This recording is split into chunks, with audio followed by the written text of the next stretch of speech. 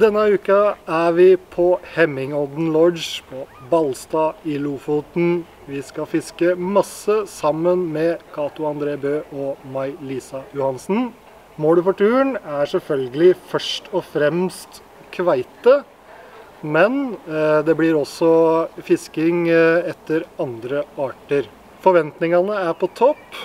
Stemningen er enda høyere, tror jeg. Eh, og alt ligger til rette for ei fantastisk uke. Bare se på dette.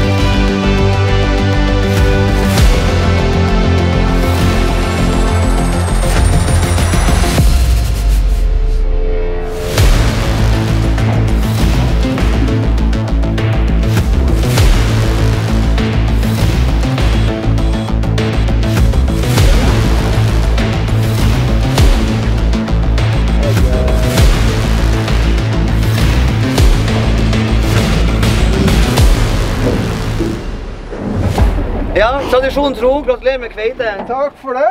Da må du eh, ta deg en liten en.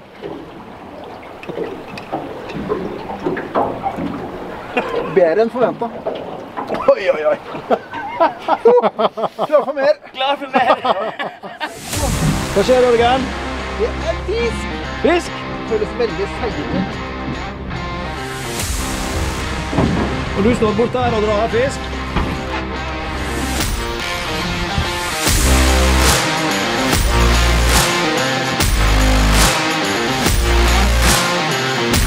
Việt Hùng Minh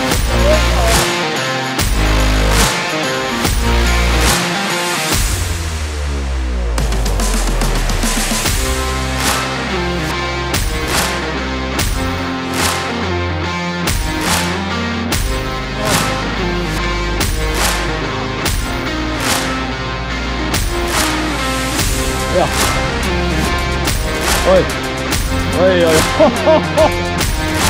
Ôi.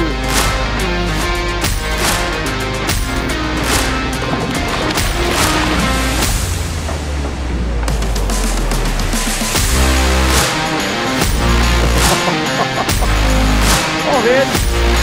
Okay.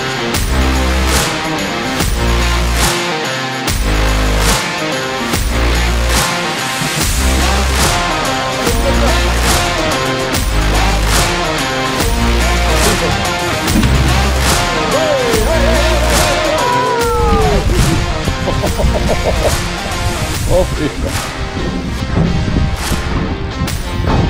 Så snakker vi.